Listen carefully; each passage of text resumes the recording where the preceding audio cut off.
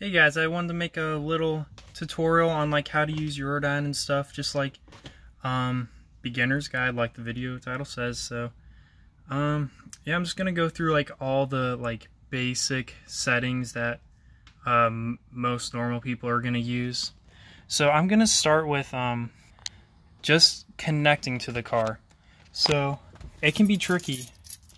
Like sometimes um, it can be a little finicky like when when it connects but the way I have the best luck is turning ignition on and plugging it into the computer.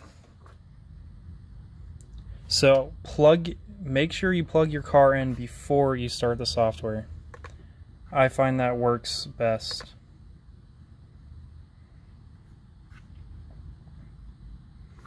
So this is your basic like start screen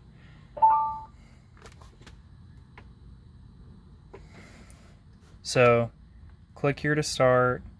Yes. So let's talk about everything here.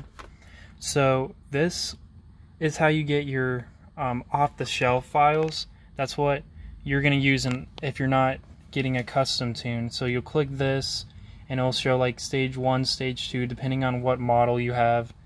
And you'll select that, click download, and that's how you're going to get your over-the-shelf files right there. Same thing with your DSG, um, your TCU tunes. You're going to use this button, and that's just your over-the-shelf TCU tunes. This, you can click on this, and it'll bring you, here, I'll just show you this one. It'll bring you to this screen. And you connect to the controller. Then you can read fault codes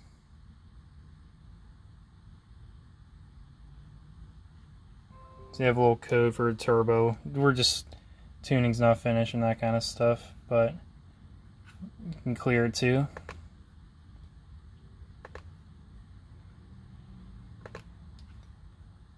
Then we can go back into here.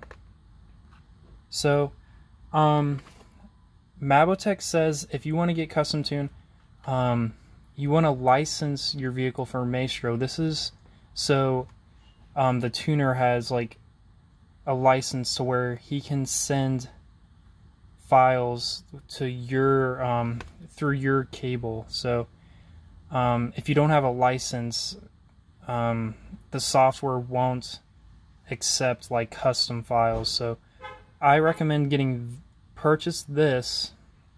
It's the eight credits. Use your credits to buy this first, even if you're just getting over the shelf tunes because down the road um, you'll probably want to get a custom tune. So, and once you purchase the Maestro software, it automatically unlocks stage one and stage two. Um, and once once you make a log and you send that to your tuner, he he'll send you a custom file, and you flash that through this button. You click that, and then you select the file that he sent you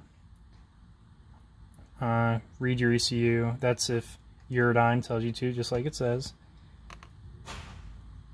And this is the same thing. Um, that's like for custom files for your DSG tune. And this is just if Eurodyne tells you to do that.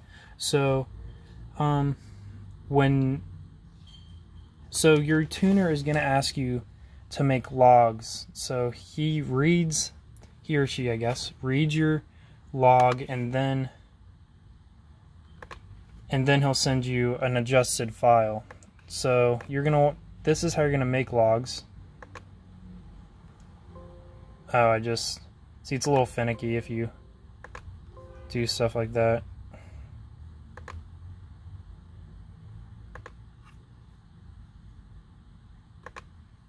Oh, it's because I saw that window open. So you'll go to Other Functions and Maestro Logger. You click that. And this will show you lots of stats and stuff, and then you can go here to text view, and it will show you stats too. So right before you want to do your like fourth gear pull, third gear pull, you'll click start. And when you're done, you click stop, and that will automatically save the file to like the Eurodyne folder. And or you can click start if you're doing like daily logging, like um daily driving logging just for like if he wants to adjust like your car low throttle input and stuff. But yeah, anyways, that's basically all you need to know. Oh, and also Mark 7 users, they can go to um, this right here and if instructed by your tuner, oh, it's not going to work because I don't have a Mark 7, but um, if instructed by your tuner, you can adjust uh, boost and octane level there. So that's pretty cool. And this is just, um, and Eurodyne also has a new wireless dongle. Oh, and by the way, you plug your flash cable into the OBD OBD2 port. I'm sure you knew that, but um, if you have the wireless dongle, you can connect with your iPhone and it has all the same features and stuff. But yeah, that's basically it. Um, stay tuned for more. Um, the car, like we're still doing some more stuff on the TT, and um, I'll have some videos out soon. Um, I'm putting it. I'm putting the new version M500 uh, CHRA inside uh, inside my turbo, so little upgrade there. And uh, yeah, stay tuned, guys. Thanks for watching.